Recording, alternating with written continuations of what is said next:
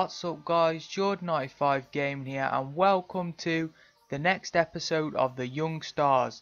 Now this week we have James Ward-Prowse, a very talented English midfielder and uh, with a big future ahead of him no doubt. Uh, thanks for all your support recently on the videos guys, I really appreciate it and um, I'd also like your questions for my 50 subscriber special which I haven't hit yet but I'm soon to hopefully and I'd like your questions below for a Q&A.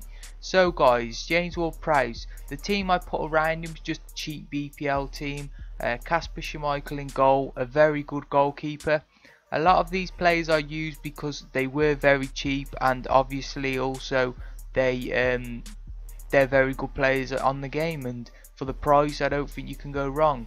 Right back we have Cedric, a very very good right back on this game. One of the, my favourite non-rare right backs to use especially in the BPL and um, yeah he has had a good season in real life too for Southampton. And uh, yeah he's a very good all-round player. Next to him we have Jonny Evans one of my favourite uh, non-rare centre backs on the game if not my favourite. He's so good. I, I would highly recommend before the game's out, guys, before the next FIFA comes out, that you guys check him out because he's quality. Alongside Kevin Wimmer, who's one of my favourite left-sided ones. Him or Rojo I really like in the BPL for the cheap ones, but he's a non-rare and he is world class on this game and I recommend you go pick him up guys, You can't really go wrong for the price.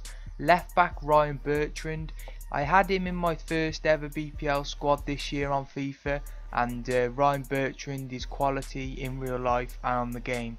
Uh, highly recommend you go pick him up with his stats. I mean you look at his defensive and attacking stats, they're very impressive. At Cam we have Wahbi Khazri who I have tried out before and I really really enjoyed guys.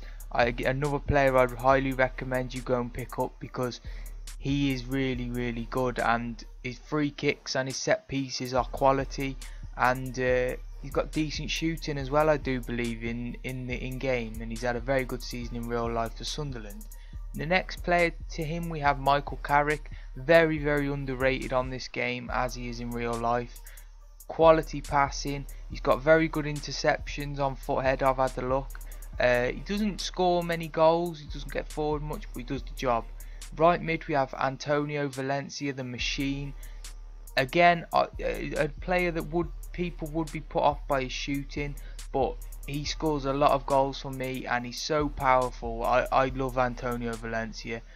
And uh, up, well, on the uh, other side, guys, we have so Heung-min Son. Again, a player that I genuinely don't know why so many people don't use him.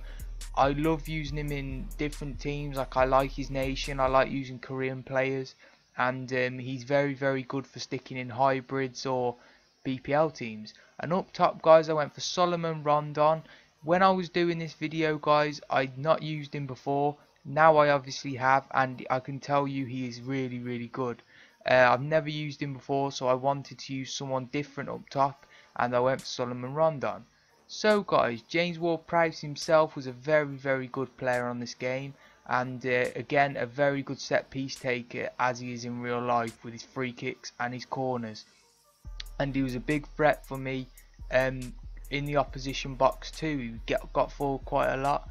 And um, these are just a few like stats about well information about James Ward-Prowse. Obviously he's 21 years of age plays for the young England under 21s he also did score for the England under 21s uh, yesterday as recording this video guys so this this video will be out on the Wednesday so it would have been the Monday um, and these are just some of his career stats. Obviously, he's been at Southampton all his career, brought up through the youth system there, the quality youth system that's produced the likes of um, Theo Walcott, Luke Shaw, and Morgan Schneiderlin, obviously.